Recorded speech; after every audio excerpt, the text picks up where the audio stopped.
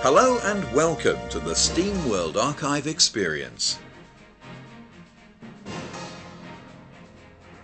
This is your chance to sample a representative selection of highlights of the unique Steam World Archive series that have been published to date.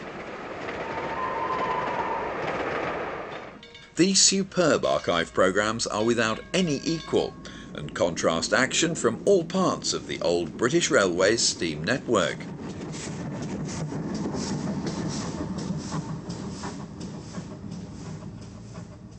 Each program benefits from the addition of accurate sound from the internationally famous Peter Handford collection, which is painstakingly matched to the action. There's also an informative script by famous railway author Neil Wooler, highlighting all the most relevant facts.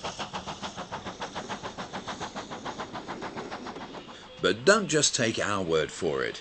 Sit back, relax, and enjoy the authentic sights and sounds of yesterday as we turn back the clock with Telerail.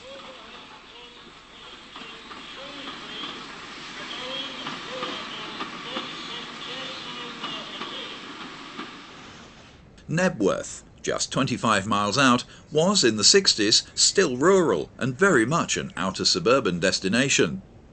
During the Second World War, when traffic control was decentralised, the Great Northern Line Control was located in this building, filmed here in the summer of 1964. A3 60066 Merry Hampton speeds by on the 3pm King's Cross Newcastle. It's 1963 once more, on a spring-like 10th of March. But the dreadful long winter that played havoc with the nation's transport had only lately lifted.